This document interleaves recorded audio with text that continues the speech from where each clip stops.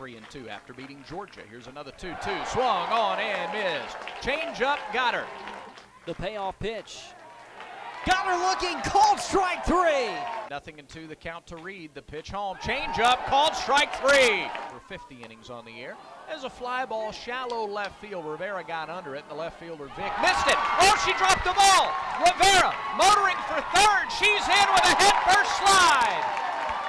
Corners of the infield come crashing in as Hornus bunts it. Left side, Cheek shovels it home, but the runner did not go. First pitch. Lined into left center field base hit. First pitch swinging. Beach hits the bag for second. Slides in safely.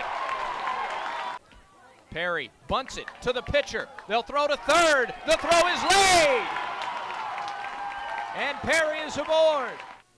Line drive off the glove of Cheek at third. She'll throw to first late.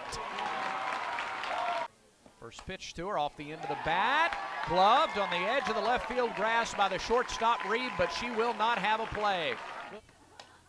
A little liner, diving stab made by McCracken. She makes the catch.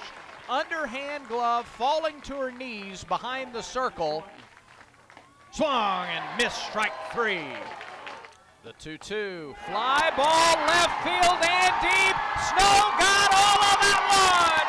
A walk off home run for Tannen Snow. And the Tigers win. The Tigers win it. One to nothing.